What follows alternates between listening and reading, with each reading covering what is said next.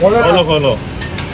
ਅੱਛਾ ਜੀ ਚਿਕਨ ਅਫਗਾਨੀ ਕੜਾਈ ਅੱਜ ਬਣਾ ਰਹੇ ਆ ਉਹਦੇ ਲਈ ਅਸੀਂ ਜਿਹੜਾ ਨਾ 1 ਲੀਟਰ ਆਇਲ ਪਾਤਾ ਹੈ। ਉਸ ਤੋਂ ਬਾਅਦ ਜਿਹੜਾ ਵੇ ਨਾ ਚਿਕਨ ਪਾਵਾਂਗੇ ਤੇ ਉਹਨੂੰ ਅੱਛੀ ਤਰ੍ਹਾਂ ਭੁੰਨ ਲਾਂਗੇ ਪਹਿਲਾਂ ਆਇਲ ਨੂੰ ਤਕਰੀਬਨ ਅਸੀਂ ਤਕਰੀਬਨ 2 ਮਿੰਟ ਜਿਹੜਾ ਨਾ ਇਹਦੇ ਵਿੱਚ ਪਾ ਕੇ ਪਤੀਲੇ ਵਿੱਚ ਅੱਛੀ ਤਰ੍ਹਾਂ ਗਰਮ ਕਰ ਲੈਣਾ ਤਾਂ ਕਿ ਚਿਕਨ ਜੋ ਹੀ ਇਹਨੂੰ ਪਾਈਏ ਉਹਦੇ ਨਾਲ ਹੀ ਜਿਹੜਾ ਨਾ ਭਰਾਈ ਸ਼ੁਰੂ ਕੀਤੀ ਜਾ ਸਕੇ। ਆ ਜਾਓ ਬਲੋਚ ਸਾਹਿਬ ਇੱਧਰ ਆ ਜਾਓ। ਪਾਓ ਚਿਕਨ ਪਾਓ। 7 ਤੋਂ 8 ਮਿੰਟ ਦੀ ਰੈਸਪੀ ਬਣੇਗੀ ਜੀ ਸਾਡੀ ਤੇ 7 ਤੋਂ 8 ਮਿੰਟ ਜਿਹੜਾ ਵੇ ਨਾ ਉਹ ਦੀ ਰੈਸਪੀ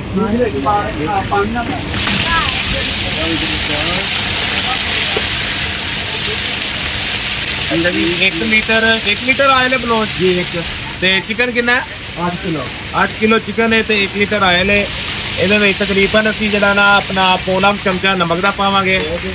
ਪਾਓ ਜੀ ਪੋਲਾ ਚਮਚ ਨਮਕ ਦਾ। ਕੰਟੀਨਿਊ ਕਰ ਲੈ।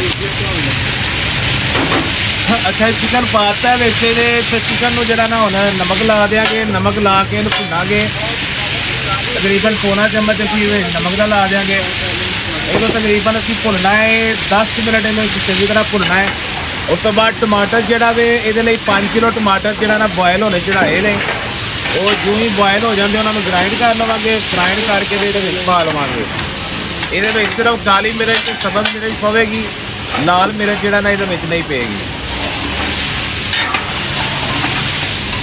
ਇਹ ਤੁਸੀਂ ਵੇਖੋ ਚਿਕਨ ਦੀ, ਜਿਹੜਾ ਨਾ ਆਪਣਾ ਨਮਕ ਜਦੋਂ ਅਸੀਂ ਪਾ ਲਵਾਂਗੇ, ਤੇ ਫਿਰ ਚਿਕਨ ਜਿਹੜਾ ਨਾ ਸਾਈਡਾਂ ਦੇ ਉੱਤੇ ਨਹੀਂ ਲੱਗਦਾ ਹੈ।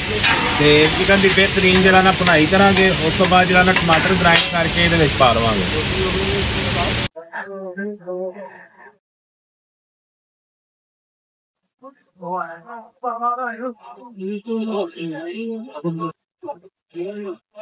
ਅੱਛਾ ਨਮਕ ਪਾ ਕੇ ਇਹਨੂੰ ਅੱਛੀ ਤਰ੍ਹਾਂ ਹਿਲਾਉਂਦੇ ਰਹਿਣਾ ਹੈ।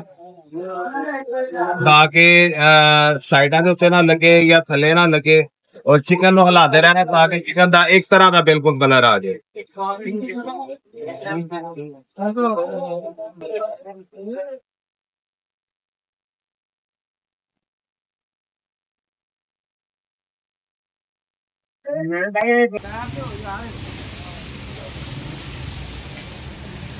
ਅੱਛਾ ਜੀ, ਆਪਣਾ ਚਿਕਨ ਦੀ ਅੱਛੀ ਤਰ੍ਹਾਂ ਬਣਾਈ ਹੋ ਗਈ ਹੈ।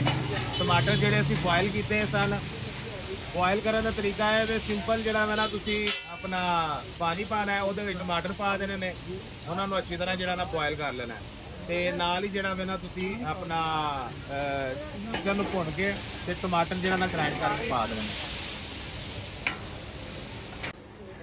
ਅੱਛਾ ਜੀ 5 ਕਿਲੋ ਟਮਾਟਰ, ਜਿਹੜੇ ਕਿ ਅਸੀਂ ਪਾਣੀ 'ਚ ਪਾ ਕੇ ਬੋਇਲ ਕੀਤੇ ਨੇ, ਉਹਨਾਂ ਨੂੰ ਅੱਛੀ ਤਰ੍ਹਾਂ ਗ੍ਰਾਈਂਡ ਕਰ ਲਿਆ ਬੋਇਲ ਜਦੋਂ ਪਾਣੀ ਬਬਲਿੰਗ ਤੇ ਆ ਜਾਏ ਤਾਂ ਤਕਰੀਬਨ 5 ਤੋਂ 6 ਮਿੰਟ ਤੁਸੀਂ ਉਹਨੂੰ ਮਜ਼ੀਦ ਬੋਇਲ ਕਰਨਾ ਹੈ। ਉਸ ਤੋਂ ਬਾਅਦ ਉਹਨਾਂ ਨੂੰ ਗ੍ਰਾਈਂਡ ਕਰ ਲਿਆ ਗ੍ਰਾਈਂਡ ਕਰਕੇ ਤੇ ਇਹਦੇ ਵਿੱਚ ਪਾਤਾ ਤੇ ਹੁਣ ਇਹਨਾਂ ਨੂੰ ਅੱਛੀ ਤਰ੍ਹਾਂ ਪਕਾ ਲਵਾਂਗੇ। ਤੇ ਐਂਡ ਦੇ ਉੱਤੇ ਫਿਰ ਜਾ ਕੇ ਇਹਨੂੰ ਲਾਵਾਂਗੇ ਆਪਣਾ ਸਬਦ ਮਿਰਚਾਂ ਤੇ ਕਾਲੀਆਂ ਮਿਰਚਾਂ।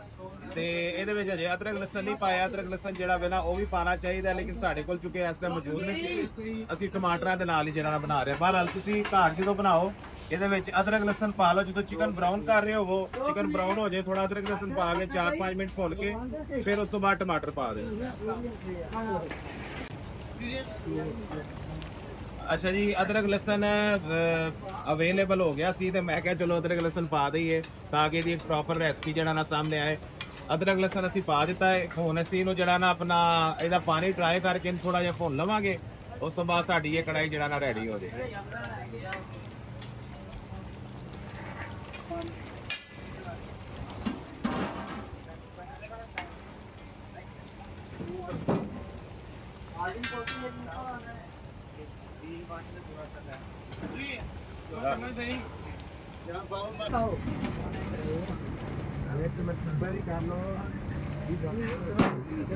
ਅੱਛਾ ਜੀ ਚਿਕਨ ਨੂੰ ਗ੍ਰੇਵੀ ਪਾ ਕੇ ਅੱਛੀ ਤਰ੍ਹਾਂ ਜਿਹੜਾ ਵੇ ਨਾ ਇਹਨੂੰ 10 ਮਿੰਟ ਪਕਾ ਲੈਣਾ ਤਾਂ ਕਿ ਗ੍ਰੇਵੀ ਰਿਡਿਊਸ ਹੋ ਜਾਏ। ਕਿਉਂਕਿ ਆਇਲ ਉੱਤੇ ਆਣਾ ਸ਼ੁਰੂ ਹੋਏਗਾ, ਨਾਲ ਹੀ ਅਸੀਂ ਸਬਜ਼ ਮਿਰਚਾਂ ਲਾ ਦਿਆਂਗੇ। ਤਕਰੀਬਨ ਅੱਧਾ ਕਿਲੋ ਸਬਜ਼ ਮਿਰਚ ਲਾਵਾਂਗੇ 8 ਕਿਲੋ ਸਾਡਾ ਚਿਕਨ ਹੈ। ਉਸ ਤੋਂ ਬਾਅਦ ਕਾਲੀ ਮਿਰਚ ਲਾ ਦਿਆਂਗੇ। ਲਾ ਦਿਓ ਜੀ ਕਾਲੀ ਮਿਰਚ। ਇੱਕ ਚਮਚਾ ਕਾਲੀ ਮਿਰਚ ਲਾ ਦਿਆਂਗੇ। ਦਹੀਂ ਦਹੀਂ 1 ਕਿਲੋ ਲੈ ਕੇ ਆਓ ਦਹੀਂ ਦਹੀਂ ਸਾਈ ਦਿਓ। ਅੱਛਾ ਜੀ, ਇਹ ਚੀਜ਼ਾਂ ਲਾ ਕੇ ਇਹਨੂੰ 2 ਤੋਂ 3 ਮਿੰਟ ਪਕਾ ਲਵਾਂਗੇ। ਬਾਹੋ ਬਾਹੋ ਤੇ 1 ਕਿਲੋ ਦਹੀਂ ਲਾ ਲਾਂਗੇ ਥੋੜਾ ਹੋਰ ਦੇ ਦਿਓ ਰਾਇਤਾ ਵਾਲਾ ਭਾਵੇਂ ਦੇ ਦਿਓ।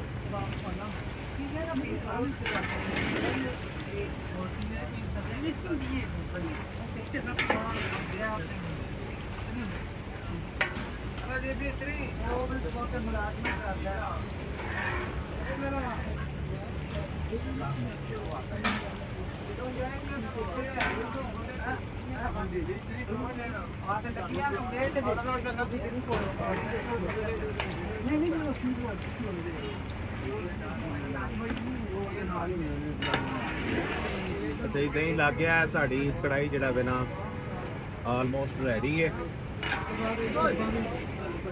ਤੇ ਇਹਨੂੰ ਹੁਣ ਜਿਹੜਾ ਨਾ ਸਰਵ ਕਰ ਦੇਵਾਂਗੇ ਤੂੰ ਇੱਕ ਦਵੋ। ਅੱਛਾ ਜੀ ਇਹ ਸਾਡੀ ਅਫਗਾਨੀ ਇੱਕ ਕੜਾਈ ਜਿਹੜਾ ਨਾ ਰੈਡੀ ਏ।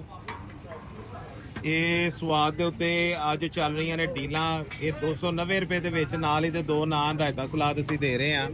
ਤੇ ਸਵਾਦ ਦੇ ਉੱਤੇ ਤੁਸੀਂ ਆਓ ਤੇ ਆ ਕੇ ਬਿਹਤਰੀਨ ਡੀਲਾਂ ਇੰਜੋਏ ਕਰੋ। ਦੁਪਹਿਰ ਨੂੰ ਵੀ ਤੇ ਰਾਤ ਨੂੰ ਵੀ ਤੇ ਬ੍ਰੇਕਫਾਸਟ ਦੇ ਵਿੱਚ ਵੀ।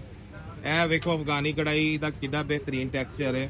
ਇਹ ਸਿਰਫ ਔਰ ਸਿਰਫ 290 ਰੁਪਏ ਦੇ ਵਿੱਚ ਦੇ ਰਹੇ ਹਾਂ। ਇਹਦੀ ਕੰਪਲੀਟ ਰੈਸਪੀ ਤੁਸੀਂ ਸਾਡੇ YouTube ਚੈਨਲ ਦੇ ਉੱਤੇ ਵੇਖੀਏ ਤੇ ਮੈਨੂੰ ਉਮੀਦ ਹੈ ਕਿ ਤੁਹਾਨੂੰ ਸਮਝ ਵੀ ਆ ਗਈ ਹੋਏਗੀ ਤੇ ਅਗਰ ਕਿਸੇ ਜਗ੍ਹਾ ਤੇ ਤੁਹਾਨੂੰ ਕੋਈ ਲੱਗਦਾ ਕੋਈ ਪ੍ਰੋਬਲਮ ਹੈ ਤਾਂ ਤੁਸੀਂ ਮੈਨੂੰ ਕਮੈਂਟ ਕਰਕੇ ਇਹਦੇ ਮੁਤਲਕ ਮਜ਼ੀਦ ਵੀ ਕੁਝ ਪੁੱਛ ਸਕਦੇ ਹੋ, ਅਗਰ ਤੁਸੀਂ ਪੁੱਛਣਾ ਚਾਹੁੰਦੇ ਹੋ।